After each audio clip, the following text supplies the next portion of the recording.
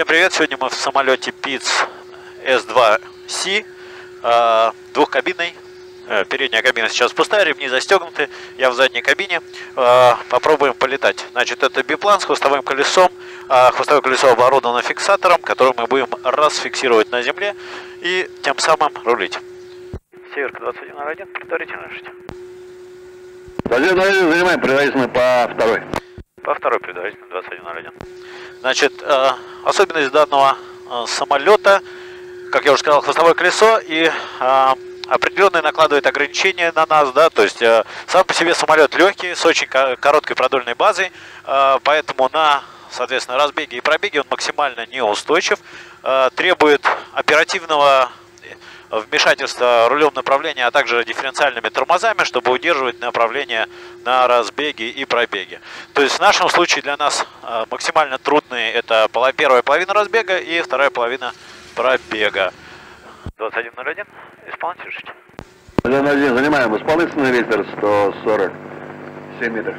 Занимаем исполнительный 21.01. Ветер получается практически... После взлета с городом 104 Принято 21.01. На 1000 метров. Принято, спасибо. А, значит, 7 а, метров будет строго боковой ветер, практически строго боковой, под 80 градусов. Я уже даже чувствую, а, как затруднено руление, да, то есть самолет с хвостовой опорой стремится развернуться как флюгер на, носом на ветер.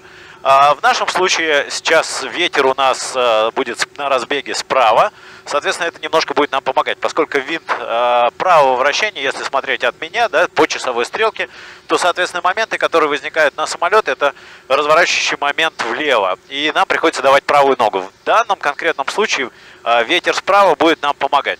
Я сейчас чуть-чуть прорулил по прямой, зафиксировал хвостовое колесо. Сейчас мы проведем опробование двигателя. Сейчас, может быть, а, пропадет звук, потому что шипение от радиостанции на больших оборотах почему-то возникает. Но если что, тогда сделаю voice overlay, да, сверху тогда. Поедем потихонечку. 21.01, а кто-то готов. Полоса 05. 21, взлет разрешил. Разрешили 21.01. Ну и поедем потихонечку, колесо зафиксировано. Будем поднимать хвостовое колесо как можно раньше, для того, чтобы а, больше у нас было а, authorities, да, управление, да, поехали потихонечку.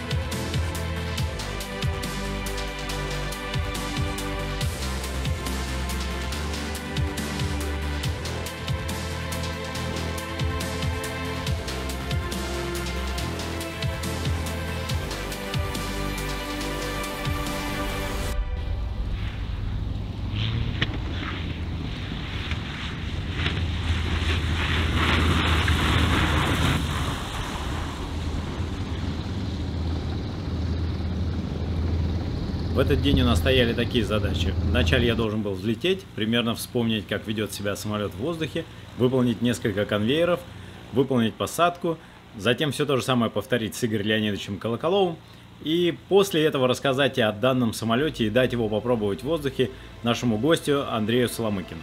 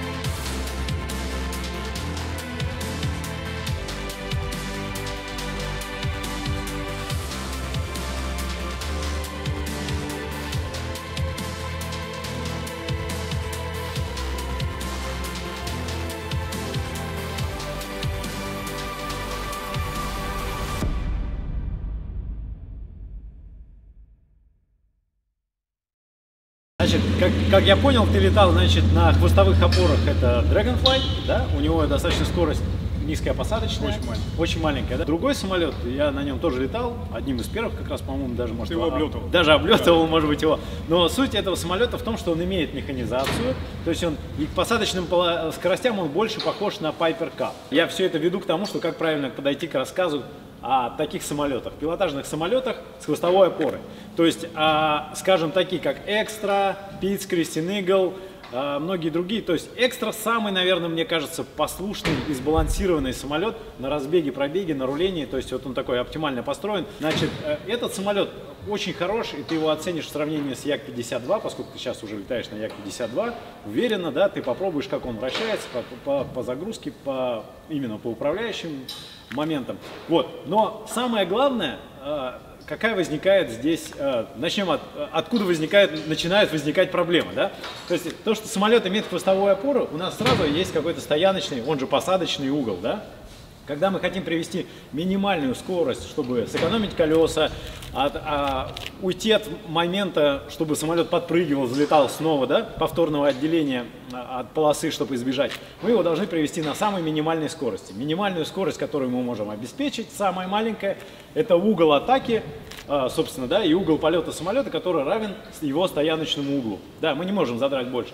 Поскольку самолет имеет чистое крыло, у него нет механизации, то есть мы не можем, как на Як-52, прилететь, то есть поставить капот под торец полосы, лететь, лететь, лететь, выровнять, выдерживать, выдерживать, выдерживать, выдерживать, выдерживать, выдерживать, выдерживать и коснуться. А, в силу ряда причин. То есть, если у нас есть неограниченная по длине и ширине полоса, возможно, это вообще никаких проблем, так все и делай, и все это будет в порядке. Без механизации ты просвистишь, вот здесь на северке полоса 700 метров, да? 700? Вот, ты пролетишь пол полосы, это точно. То есть без механизации ты еще на экран, используя эффект экрана и полетишь. Тут крыло низкое, а, ну, расположение очень низкое нижнего крыла. Значит, тут у тебя сразу два вопроса. Значит, тебе нужно лететь изначально на больших углах атаки. То есть у тебя должны быть, чтобы тебе не привести совсем лишней скорости, тебе нужно привести ровно столько скорости, чтобы ты изначально уже летел на тех углах, как ты будешь касаться, да, на тех же самых углах.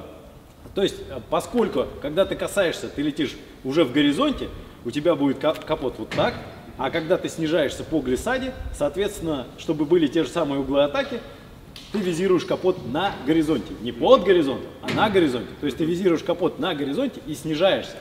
Но тут возникает проблема. Тебе ничего не видно. Ты сидишь вот здесь, и вот у тебя угол, в котором ты видишь, да? И, соответственно, если я полечу в передней кабине за инструктором, мне еще хуже видно. То есть ты, ты, ты попадаешь в ситуацию, когда те- тебе нужно держать капот на горизонте, снижаться куда-то туда, куда тебе не видно, и при этом выдерживать направление, и еще коснуться в створе. Допустим, у тебя э, идеальная ситуация, у тебя полоса Э, у тебя нет бокового ветра. Ты даже пришел носом вниз, выровнял, и, и пока ты его выдерживаешь, ты никуда не сместишься, будешь создавать посадочный угол и коснешься. Да?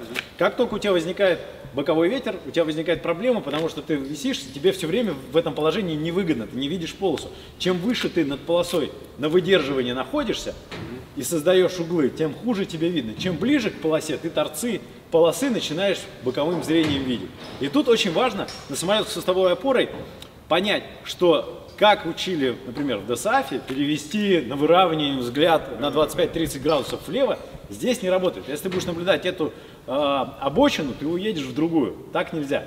То есть здесь нужно тебе смотреть прямо, но не фокусируя свой взгляд на то, что ты видишь у себя на капоте, как бы э, активировать периферическое зрение. То есть ты де- держишь голову прямо и, и вот так, выпучив глаза, периферическим зрением смотришь на эти обочины. И ты понимаешь, да, что в таком положении, если ты находишься высоко над полосой, вот эти торцы уходят из твоего э, поля зрения, да, и тебе невыгодно. То есть тебе надо оказаться, тебе нужно, чтобы совпала куча сразу факторов, да. Тебе нужно оказаться низко, сразу в посадочном положении, и желательно, чтобы у тебя продольная ось самолета уже была вдоль полосы. Вот, теперь как нам это все собрать в кучу? Значит, а, если у нас нет бокового ветра, мы, когда выходим на посадочную прямую, мы должны создать скольжение, да? А, то есть мы отворачиваем нос да, самолета, допустим, правой педалью, мой крен. Мы создали вот такое скольжение, и вот так, так- таким вот образом боком естественно, если мы создали скольжение, мы увеличили свою вертикальную скорость, но мы хотим все еще не сыпаться вот так ответственно, да, потому что нам чем-то надо будет выравнивать, да, мы слег, э, направляем самолет по глиссаде избыточной тягой, то есть нам приходится добавить газу, да, то есть мы идем на, на, с большим скольжением и на, на газу, да, и перед касанием, что нам важно сделать, это убрать это скольжение, да, то есть мы равномерно скоординированными движениями, не допуская того, если мы где-то запоздаем, убрать крен запоздаем, тогда мы за педалью нос отвернем сюда больше. Или если мы убрали педаль, о, вернее, педалью выровняли самолет, но не убрали крен, улетим. Ну, то есть нам надо, чтобы у нас в момент касания продольная ось обязательно была вдоль продольной оси ВПП, иначе у нас шасси, посмотри, какое оно хлипкое, да, то есть любой момент любой момент его дестабилизирует. И поскольку у тебя центр тяжести за центром давления, да, тебя, за опорами колес, да, тебя начинает, естественно, раскидывать. А, то есть по амплитуде ты начинаешь колебаться, и это лишнее тебе создает проблем. То есть задача его приземлить продольно. Да? В нашем случае мы создаем вот это вот скольжение. Капот у нас также отводится на горизонте, да, то есть мы визируем капот, вот как будто он стоит выше нас, да, но реально, потому что ты сидишь сзади, у тебя капот выше тебя, он практически на горизонте, ты на газочке подходишь, координированным движением все убираешь, тут же касаешься на три точки, и тут желательно, очень, э, я раньше это не был уверен в управляемости самолета, я этого не делал какое-то время, но потом с пониманием э, э, пришло то, что обязательно нужно на данных самолетах, где управляемости хватает без обдува э, отдачи газа, э, нужно отдать ручку от себя потому что а, ты его сводишь сразу. Что будет, если ты не, не отдаешь ручку от себя? У тебя самолет только что коснулся, то есть вот он находится на углах, которые близки к тому, чтобы он снова отделился. Он только что летел, он только коснулся, да, то есть если у тебя нет большой вертикальной скорости, ты не спарашютируешь, да, он только коснулся. Любые неровности, любая маленькая вертикальная скорость, это то есть у тебя, по сути, у тебя нет никаких а, шок-абсорберов, у тебя нет амортизаторов как таковых, у тебя просто как упругая деформация работает стойки, и ты пань, опять отскакиваешь. И вот так будешь скакать, очень долго, да, то есть на эффекте экрана, упругой вот этих отскоках, да, и это все очень грустно. Поэтому Твоя задача как можно, что в этих случаях делать? Если ты не уверен в отдаче ручки от себя, ты либо должен ее сразу прижать к себе, чтобы прижать именно хвост и не допускать этого отрыва. То есть он даже попытается основные стойки оторвать, то есть он на заднем колесе опять прижмется, да? Значит, и другой случай, который э, наиболее интересен, да, это отдать ручку от себя, тогда ты загружаешь сразу основные стойки, они, во-первых, начинают, э, то есть ты снимаешь э, самолет с углов атаки, увеличиваешь вес, стойки разжимаются и принимают тебя. То есть они уже больше работают как амортизаторы, а не просто пружинки, которые тебя все время отталкивают. Да? А, значит, ты отдаешь ручку от себя, самолет ставишь э, в уровень практически. Тебе, во-первых, видно сразу, хорошо видно твое направление, ты выдерживаешь направление как а, аэродинамически рулем направления, так и раздельным торможением. Значит, и как только скорость у тебя, а, то есть ты так удерживаешь как можно дольше, сколько хватает руля высоты, как только у тебя все, руль высоты отдан от себя полностью и э, падает, значит, напор скоростной, у тебя самолет опускается, ручку не оставляешь где-то здесь, это чтобы он скакал, да? То есть он сразу перекладываешь ее на себя. И уже остаточное торможение. Громче. Вопрос. Да. Громче говори. А, вопрос такой. А, до сих пор рассматривали заход и подход к земле посадку на три точки. Да. А сейчас, по сути, ты э, говоришь, что после президента на три Да. точки мы переводим самолет на, на два колеса. Да. Сразу не выполнить заход и не посадить самолет на два колеса? Ну, значит, что означает? У тебя повышенная скорость. То есть ты, если твой самолет готов видишь лететь... полосу? Да, но ты помнишь, что у нас ограниченная полоса? То есть, если у нас полоса не ограниченная, то это, это имел бы место быть такой случай. Но я тебе сразу скажу, мы даже попробуем, я тебе скажу сразу, что это очень сложно сделать. Почему? Значит, смотри, ты в этом уравнении, там, баланса сил, ты сразу себя подводишь в такое в неудобное положение. Тут смотри, мы, у нас самолет сбалансирован на то, чтобы лететь на этих углах атаки. Мы коснулись, и мы можем сразу это уравнение перевести в нужную нам сторону, отдав от себя, сведя самолет с углов атаки. А вот когда ты подводишь его на, на тех углах, которых еще летит, вот ты начинаешь в полный рост ощущать упругость деформации своих э, рессор, то есть ты пиу, пин, то есть тебе в любом случае надо будет его еще подприжать от себя, то есть а, как это можно сделать? Слегка, допустим, не на три точки, а слегка опущенным а, хвостовым колесом коснуться и тут же его свести с этих углов дополнительно. да, это момент касания.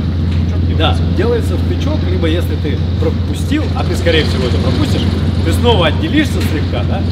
Вот тут от себя не надо давать, добрать опять себя, повторно коснуться, и вот тогда уже так, попасть в этот момент в амплитуду и как бы раскрутить колеса. Ну а мы... То а, ну, то есть ответ сложнее. Сложнее. Ответ очень простой, сложнее. То есть, с одной стороны, нет. С одной стороны, некоторым пилотам это легче, потому что они все видят, и они притирают. Но я вижу, в лю- в любом случае это будет совершенно однозначно увеличение твоей дистанции пробега.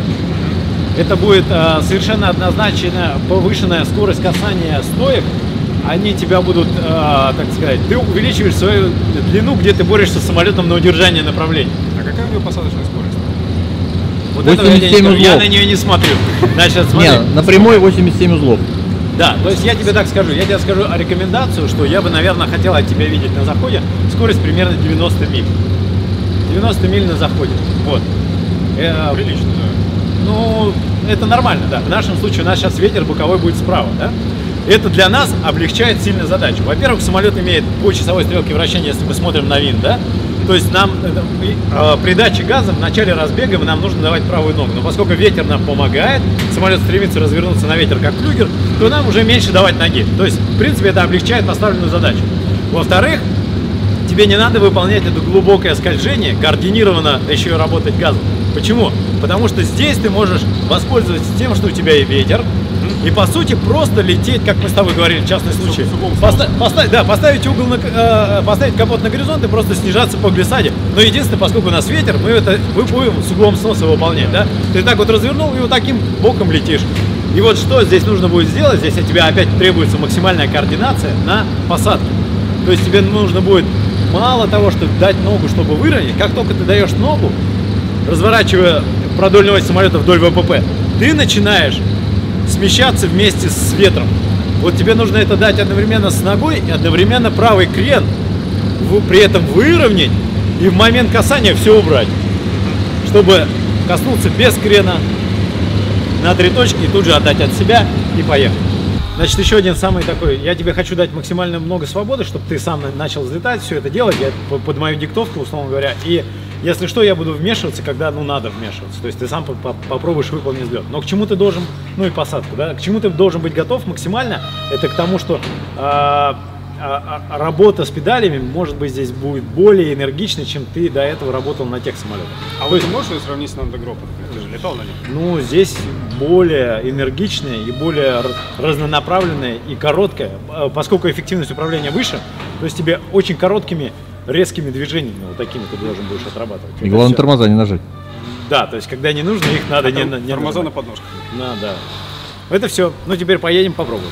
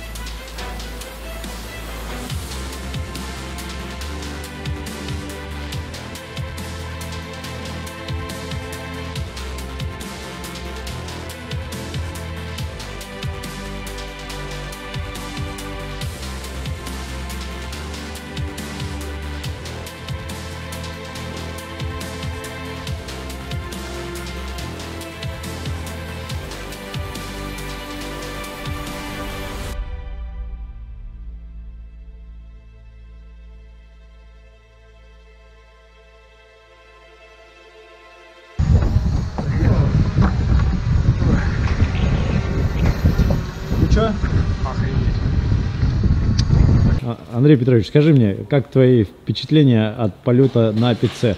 Рас- Меня интересует, ну, во-первых, я тебе сразу скажу, э, могу тебя оценить как инструктор положительно, ты очень Спасибо. хорошо слетал, то есть у тебя не было проблем с сохранением направления, то есть явно видно, что у тебя э, ноги готовы работать и работают энергично, и, и они подвижные. Просто проблема... Голова. И голова, да. Голова-то важно, но просто я тебе скажу так, что люди, которые привыкли летать только с носовой опорой, да, когда они садятся на такой э, юркий, подвижный, э, дерганный аэроплан на разбеге, пробеге, у них голова-то вроде понимает, но ноги не готовы так быстро отрабатывать. Вот поэтому Ну, это я, вот... видишь, у меня была даже скорее обратная проблема, когда я сел на Як-52, я ногами там шаровал только в путь, меня отучали долго от этого. Да, вот давай теперь ты скажи, я тебя, так сказать, забил, ты расскажи свои теперь.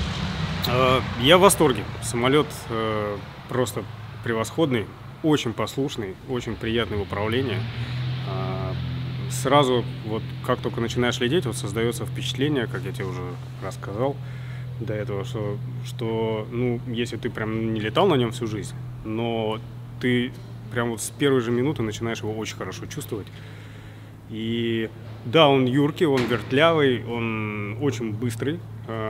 все происходит э, ну, достаточно резко. Но при этом, при всем, самолет очень хорошо управляемый. То есть он не теряет управляемость ни на каких своих вот этих вот режимах ни разбега, ни пробега. Ну да, я вот хотел доп- до- дополнить, несмотря на то, что он не устойчивый, но он при этом всегда его управляемость, возможность его контролировать превосходит, его Превосходит, да. неустойчивость. Твоя задача а, делать это в правильное время и Да. в, а, в ну- в в нужном количестве вносить коррективы, правильно? Да, ну и у него очень легкое управление, конечно. То есть я на такого класса... По загрузке, да? Да, на, на такого класса самолетах еще до сих пор не летал. Спасибо огромное за эту возможность. Чё? Вот, и э, я прям, ну я могу сказать, я влюбился прям в этот самолет с первого раза. Вот, прям, я хочу теперь летать только на нем.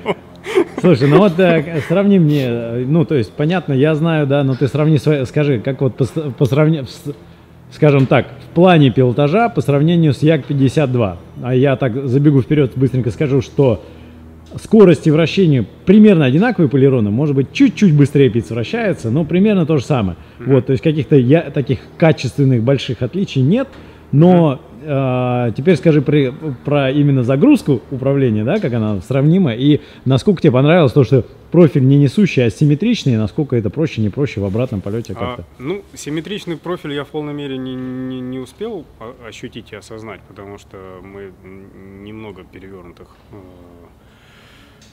э, фигур делали. Точнее, вспомни, как много нужно давить тебе от себя 52-й. То есть это Здесь тоже, в общем-то, ну, хотя я перебарщивал тоже, я, я как бы Да, переотдавал да, ручку. минус два. Да, да, да, да. Вот, но... м, Да, не, не могу, на самом деле, не могу сказать ничего про, про, про симметричный профиль. Вот. Но то, что он вращается очень легко и, и послушно, вот это мне понравилось. То есть здесь э, приходится себя вовремя, что называется, останавливать, бить по рукам. Да? То есть если ты, если ты его завращал и хочешь его резко остановить, то ну, это надо, конечно, тренироваться и учиться этому, как это делать резко, фиксированно. Да? То есть это, это моторика, чисто моторика. Э, головы здесь абсолютно ноль. То есть, э, Не, голова тоже есть, но моторика это то, о чем ты говоришь, потому что хорошие качественные вращения, то есть если я сейчас сяду на экстру, мне будет, я буду видеть свои промахи, виду, ви- Да, видеть, да, насколько да. я промахиваюсь, и мне будет горько от того, что раньше я попадал Ну вот- со звоном, а сейчас я просто это промахиваюсь, потому что именно а, muscles memory отсутствует, да? То я есть вот примерно мускульная- на этом ощущ- ощущении себя поймал как раз, да, что ты его вращаешь, ты его пытаешься останавливать, то есть ты как бы головой, глазами ты это все видишь, где ты докрутил, где не докрутил, где там промазал. А вот, как ты говоришь, да, muscles memory нету нифига. Вот, и ее, конечно, надо нарабатывать здесь. Но э, вот эта вот легкость, с которой это все происходит, ну ты просто как это, как, не знаю, как бешеный клоп действительно, носишься по лему, делаешь, что хочешь, просто вот, что хочешь. Э, и самолет тебя слушается, и это потрясающе. Похоже на симулятор. Очень. Не, правда, я серьезно, я не шучу. Ну, то есть вот все эти навыки там управления самолетом на, на режимах взлета и посадки с хвостовой опорой, с хвостовым колесом, они все здесь работают в полный рост. И, э, и, и вот это вот э, такой вот симуляторное ложное ощущение безнаказанности, что ты в симуляторе что хочешь, то и делаешь, да, вот оно здесь тоже почему-то присутствует. Да, самолет позволяет действительно очень много. Ну и он мощный, он сразу идет в набор, набирает э, прекрасно, то есть ты взлетаешь и как ракета куда-то там ушел. И только так иногда на шарик посматриваешь. Да. Ну, отлично. То есть, э, а, как вот э, ты бы охарактеризовал? Ну, понятно, что это те самолеты, на которых мы сейчас, ну, конкретно сейчас э, не можем полетать, но мы будем к этому стремиться, которые представлены, например, ну, не знаю, в вашем проекте Ил-2 там. а, как бы ты оценил? Ну, понятно, что они более тяжелые, более инертные, немножко там другая управляемость, но вот эта сама физика процесса похожа, вот, скажем, ну, какие-нибудь более шабутные, может, и 16, да, более такой подвижный, или... Я думаю, что даже и 16 будет гораздо более вялым, мне так кажется. А, то есть я, конечно, на нем не летал в жизни, вот, я летал на нем только в нашем симуляторе. Ну, я тебе так скажу, что те самолеты, которые более тяжелые, ну, я летал только на хвостовых э, самолетах с хвостовой опорой, которые по весу достаточно тяжелые, это Texan T6 и Ан-2, да, то есть э, э, они тоже, естественно, нестабильны, требуют вмешательства постоянно, но поскольку вес их общий тяжелый, то постоянное времени или инерция, да, э, она больше, да, и поэтому у тебя чуть больше времени, то есть это все происходит быстрее. И более того, жесткие э, стойки, например, Тексана, э, они не такие, как здесь, просто такие, как пружинки, которые постоянно дестабилизируют тебя еще больше, да. Ну ладно, спасибо тебе большое. Спасибо тебе, спасибо Игорю Леонидовичу, да, Да-да-да, за предоставленный аэроплан. за, за предоставленный аэроплан. Спасибо Да, огромное. да, да. Я счастлив. Самолет прекрасный. Ребята, это супер.